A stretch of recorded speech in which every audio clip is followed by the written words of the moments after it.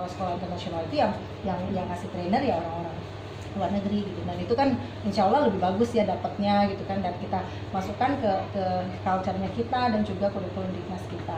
Nah selanjutnya eh, anak-anak juga diberikan eh, apa ya ke skill yang 10 itu yang yang learner profile yang 10 itu dan juga skill yang tadi saya bilang kan collaboration apa segala macam. Nah jadi anak-anak bukan cuma sekedar uh, mendapatkan ilmu untuk passing the test gitu kan tapi mereka ya gimana kita preparing them for life kan gimana dia dengan ilmu itu dia dapat skill. Karena bagaimanapun saat mereka kerja nanti saat mereka hidup yang dipakai. nanti dan itu. sekarang kan skill itu. Gimana mereka bisa punya uh, apa computational thinking. Kenapa saya kok ada STEM gitu STEMnya bukan STEM bukan belajar bikin robot ya tapi Hmm. kita melatih mereka untuk punya computational thinking gimana kalau ada kalau komputer itu kan begitu ada masalah dia bisa breakdown kan. Ini masalah besar di breakdown oh apa aja sih gitu kan. Terus dia bisa analisa apa aja sih aset kita apa aja sih limitasi kita apa aja sih yang ada di sini gitu. Lalu bisa pilih ada strategi mana aja sih oh strategi yang ini oh nggak bisa strategi yang ini bisa oke yang ini kita kita coba gitu. Nanti dari situ mana yang terbaik kita kerjakan. Nah kayak gitu itu kan bisa dilatih dengan bertahun-tahun. Nah itu yang STEM itu ya kegiatannya seperti itu. Through robotik through computer science kami pilih robotik. Kenapa? Karena kalau robotik itu kan anak-anak lebih lebih hands on activity ya. kalau computer science kan berarti main komputer Hmm. langsung. Saya um, pertimbangannya itu karena anak-anak kita kan di TK udah senang banget main Lego. Nah di sini ya kita bikin robot. Jadi robot itu sebagai tools aja sih untuk mereka dilatih computational thinking skills gitu. Nah se- dengan IB juga sejalan kan. Ya kolaborasi dia bagaimana dia berkolaborasi dan bukan cuma di STEM saja tapi di pelajaran-pelajaran lain juga kan. Um, bagaimana mereka bisa misalnya matematika cuman ngafalin uh, 1 sampai 100 itu gampang lah tiga bulan juga bisa kan cepet-cepet di, di ini kan gitu. tapi bagaimana mereka mengkolaborasi dengan pelajaran-pelajaran lain sehingga saat mereka di real life mereka bisa tahu makainya 7 tambah 8 dua ra- apa se- 10 tambah 15 tuh gimana sih? Sehingga misalnya mama beli telur atau atau ngapain gitu kan itu dia bisa bisa bisa masukkan ke konteksnya dia dalam konteks kehidupan yang sebenarnya. Karena kadang-kadang ada anak yang di dalam uh, tulis apa sorry ujian bisa kan segala macam kali-kalian atau tapi apa real life-nya. Nah real life-nya dia masih bingung kan gitu. Karena saya ingin mempersiapkan anak-anak bukan cuma pintar di ujian Lalu begitu nanti saat misalnya mereka kerja eh, di jalan yang paling macet, yang paling nggak macet di mana sih? Bisa jalan macet apa yang harus kita kita kerjakan? Atau saat dia nah ya gitu kan. Jadi kita harus memang problem solving skills tuh harus banget kita berikan ke anak-anak. Karena itu ya kita semua kan juga banyak yang Eranya problem beda solving skills kan gitu. Nah gimana mereka katakanlah mau presentasi terus eh, laptopnya rusak atau apalah stres atau apa itu apa yang bisa dia lakukan kan gitu. Misalnya dia ada menemui kesulitan dia harus bisa eh, apa namanya cari solusi. Nah gitu. Jadi bukan anak-anak yang gampang stres atau segala macam gitu. Karena mereka biasa biasa berpikir gitu. Karena kan ya the brain grows by use kan. Kalau nggak dipakai ya dia nggak berkembang-kembang nah makanya kita di IB setiap anak-anak misalnya bertanya guru pasti akan nanya balik gitu. Istilahnya kita nggak cuma kasih begitu saja. Eh, teorinya sih di buku ada. Kenapa anak-anak kita ajak suruh baca? Yang paling gampang kan sebenarnya udah ada bukunya halaman segini ya ya udah ini adalah ini ini contohnya ini gitu. Terus besok diujiankan dapat 100 semua. Tapi kan gimana anak-anak bisa ini saya kan mau uh, some kind of flip class. Jadi misalnya minggu depan ada materi apa makanya kita kasih 6 minggu ke depan apa saja materinya. Anak-anak tuh belajar dari dari YouTube misalnya ditemenin sama orang tua ya terus mungkin diskusi sama orang tua mungkin nanya sama kakeknya atau mungkin diajak ke mana.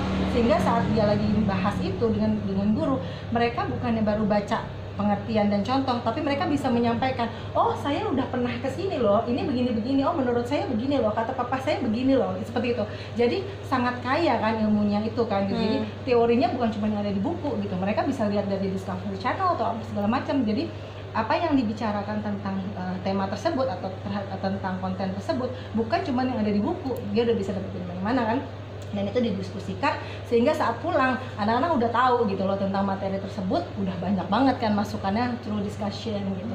Dan anak-anak juga dapat skill inquirer dan knowledgeable kan. Mereka Hmm. bukan dapatnya informasinya bukan dapat dari guru di sekolah tapi mereka udah berusaha mencari kan. Nanya lagi ke papa lihat di Iya, TV betul. baca di mana Dan apalagi kalau udah nah apalagi kalau udah bisa baca kan dia bisa cari literatur. Kenapa kemarin kita juga udah mulai encourage anak-anak untuk bahasa Inggris?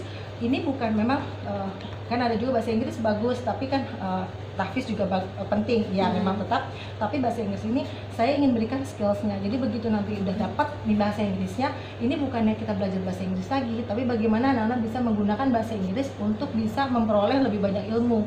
Saya bilang kan kalau misalnya ke anak saya juga kalau kamu bisa bahasa Inggris kamu bisa baca literatur bukan maaf dari Gramedia aja loh. Kamu bisa dari jurnal dari segala macam kamu bisa baca.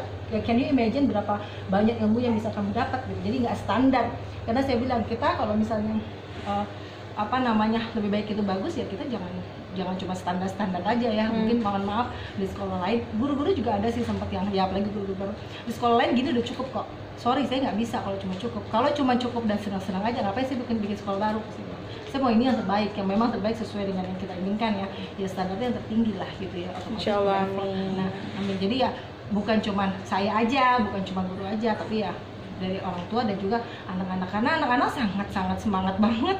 Iya, setiap ini tuh mereka yang yang seru lah gitu. Karena memang Iya benar. selalu kita kasih tahu kenapanya gitu. Jadi sehingga mereka nggak aduh kok suruh begini sih ya kayak seperti itu. Jadi ah, saya berharap juga di keluarga juga memotivasi. Karena anak-anak willingnya itu malah ya seperti misalnya mungkin nggak dikasih PR bingung gitu kan. Mau, mau, mau malah minta dikasih PR nah makanya saya bilang ya mungkin di early childhood di sampai 9 tahun kita memang nggak kasih uh, uh, Ah, ya, homework yang memang uh, worksheet lah. Tapi ya kita kasih PR untuk cari informasi gitu. Kita cari kasih informasi dan kalau misalnya orang tua mau kasih latihan nggak apa-apa juga sih gitu. Tapi kita nggak mengharuskan. Kenapa? Karena uh, kami percaya anak-anak tetap harus perlu bermain, mereka tetap perlu uh, bersosialisasi kan gitu. Dan jangan salah mereka nggak nggak ngerti PR itu bukan berarti mereka nggak belajar loh gitu kan. Mereka main dengan tetangga juga mereka bisa belajar sesuatu kan karena uh, itu proses belajar Tekniknya juga. beda ya. Ya benar gitu. Jadi ilmu kan nggak cuma sekedar akademis ya, bukan cuma sekedar ngejar yang matematika. Itu matematika yang ada di Diknas itu mungkin tiga bulan juga selesai pun kalau kita mau kejar ya. Betul. Tapi skillsnya itu yang kita kita terus Apalagi uh, berikan. Bu Ega udah babat abis matematika, oh Udah sih. Gampang lah. Yang full English itu sebenarnya kelas berapa ya? Apa buat? Full English Full Full English. Englishnya sih dua. Ke- Kelas dua harusnya sudah full English ya. Nah nanti kelas ya ya Kira-kira kemampuan mereka sekarang gimana sih? Nah ini kita lagi kejar sih. Makanya kalau untuk yang batch se- setelahnya itu di TKB nanti kemungkinan TKB udah Udah IB. Inggris. Eh, IB memang dari sekarang Oh. udah dari dari sebenarnya IB itu 3 sampai 12 tahun bun.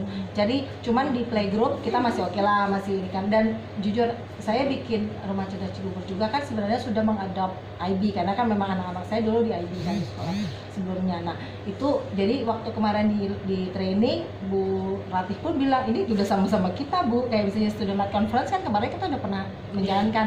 Dan mungkin rapotnya TK juga nggak terlalu banyak berubah Bun karena memang semuanya sudah sudah Sama, masuk. ya. jadi cuma beda bahasa Inggrisnya saja lah gitu. Makanya uh, sekarang PR kita adalah anak TKB ya TKB lah ya terutama. Supaya nggak terlalu stres pas di kelas satunya itu di TKB sudah lebih kita banyakkan. Jadi mungkin kalau kemarin kan TK TKB kita kasih fun English seminggu dua kali.